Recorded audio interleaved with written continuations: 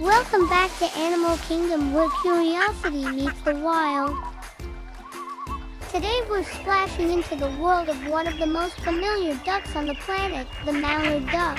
You've probably seen these ducks paddling around city ponds, rivers, and lakes.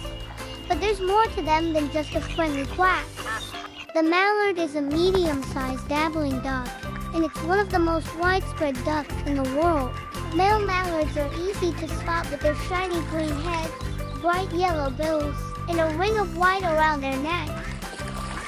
Females look completely different covered in brown speckled feathers that help them camouflage perfectly in tall grass and reeds.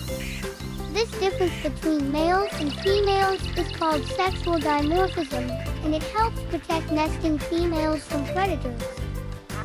Mallards are dabbling ducks, which means instead of diving deep, they tip forward with their tails sticking up while they feed in shallow water.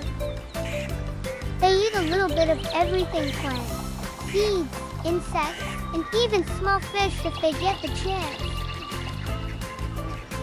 Mallards are also opportunistic, meaning they'll happily snack on breadcrumbs people toss, though natural foods are much healthier for them. You might be surprised to know that mallards are the ancestors of nearly all domestic ducks in the world. They've been around people for so long that many farm and backyard ducks trace their roots back to the wild mallard. During the breeding season, male mallards put on a show calling loudly, splashing, and showing off their bright feathers to impress the females.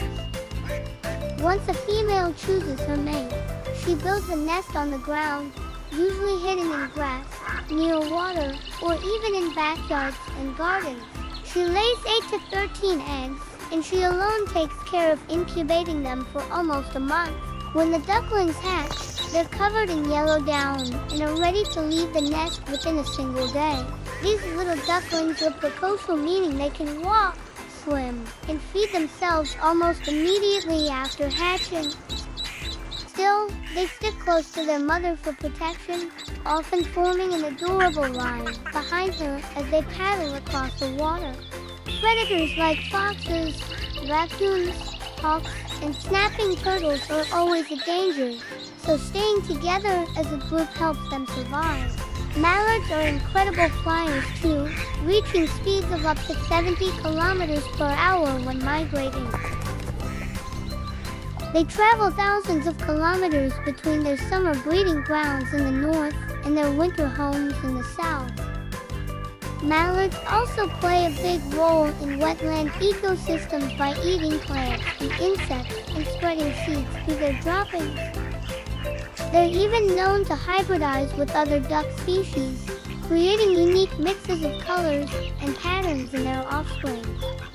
The familiar quack you hear is almost always from the female male mallards make softer, raspier calls.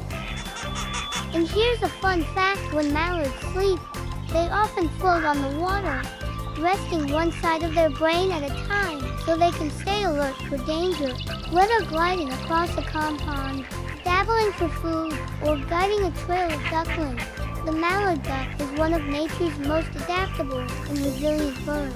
So next time you see one, remember you're looking at a bird with a history that connects wild wetlands to your own backyard.